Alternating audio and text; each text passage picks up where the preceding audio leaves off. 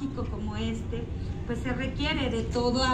de todo un tema de coordinación que aquí lo estamos haciendo. Y aquí la grandeza de este convenio, pues es todo lo que va a cambiar la vida de quienes estén eh, favoreciéndose de las acciones que hagamos de manera, de manera conjunta. Yo sé que las necesidades son muchas aquí en Iscal,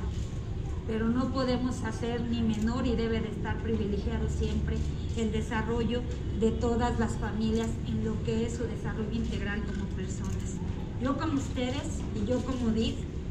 tengo grabado y tengo plasmado en el corazón que cada, cada acto que hagamos sí va con una fe intacta de generar la mejor versión de lo que hacemos para mejorar su calidad de vida. Sí va premiado en ese corazón el compromiso de que todos los recursos se extiendan tanto, pero que nos permitan ayudar a quienes están en una mayor situación de vulnerabilidad. Y hace unos días que tuve la posibilidad de recorrer las instalaciones, pues ahí me di cuenta de que realmente el trabajo en equipo siempre tiene que estar, como ciudadanos, como sociedad y nosotros desde el servicio público. Pero también me di cuenta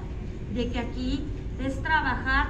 no por cuestiones extraordinarias, sino por esos posibles que generan milagros hacia el cambio de vida de una persona. Y hoy nos permite darnos la mano, sociedad, una fundación extraordinaria como Teletón y nosotros como gobierno, ¿para qué?